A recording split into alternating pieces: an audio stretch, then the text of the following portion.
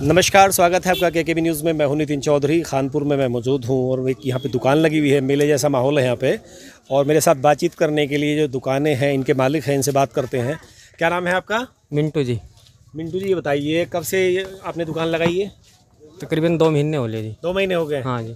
अच्छा ये बताइए जो ये पानी का मामला चल रहा है अच्छा जी। कितना सच है इसमें?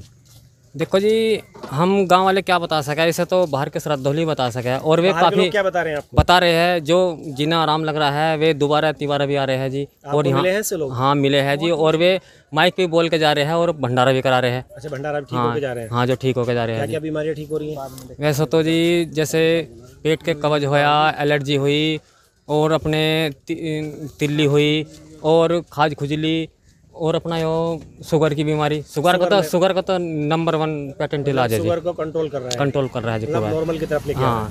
हाँ जी। अच्छा। आपका क्या नाम है? सचिन जी। सचिन जी आपकी किस चीज़ की दुकान है यहाँ पे? हमारी ये मूर्तियों की दुकान है। अच्छा मूर्ति आपकी दुकान है। हाँ तो कब से लगाई आपने? हमें भी दो ही महीने हो लिए। दो महीने हो गए। के अच्छा बताइए कितनी भीड़ लगती है यहाँ पे दो महीने से? भीड़ तो काफ़ी थी है जी। काफ़ी भीड़ लगी है। काफ़ी भीड़। ये बताइए दो महीने से ज़्यादा का समय हो गया मतलब अभी भी इतनी भीड़ लग रही है ऐसा क्या है इस पानी में? पर जी पानी में तो आपको इन्होंने बता ही दिया जो भी है वही बात। आप भी ऐसा मानते हैं कैसा हाँ जी ऐसा ही है उससे भी आप पर- ऊपर ही है। उससे भी? उससे भी ऊपर। आप पीते हैं? हाँ जी हम भी पीते हैं। हम तो डेली पी रहे हैं जी। आप भी पी रहे हैं? हाँ डेली पी रहे हैं जी मतलब हम तो पहले से ही पानी पी रहे हैं जी। अच्छा पहले से पीते थे? हाँ पहले से पानी के बारे में? इसका गाँव वालों को सभी को पता था। आराम जो है सबको है जिससे भी हम बोल रहे हैं सब लोग कह रहे हैं कि हमें आराम है जी। एक जो है यो खानपुर की बात थी। ये जो हुआ वह बीमार था बेचारा पानी पी गया वो भी ठीक है। एक हमारे जो है वो फूल रही थी चोट लग के वो ठीक है बिल्कुल अब जो कोई वो नहीं है कोई दिक्कत नहीं कोई परेशानी नहीं। हाँ जी।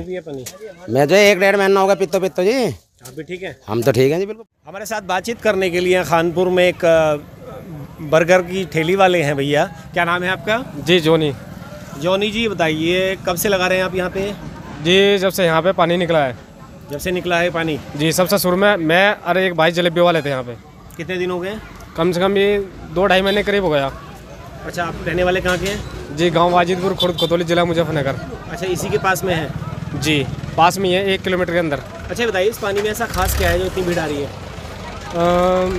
ज़्यादा तो कुछ कहूँगा नहीं लेकिन ये एरो से भी हल्का पानी है। आई मीन पेट के मर्ज के लिए और एलर्जी के लिए बहुत बीमारी के लिए काम आ रहा है। अच्छा आपके पास तो काफ़ी लोग आते होंगे दिन में। जी हाँ। तो कैसी प्रतिक्रिया लोग देते हैं?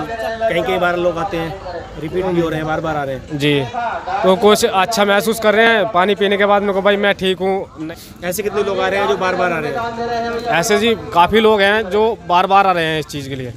बार बार पानी पी के जाते हैं? जी हाँ।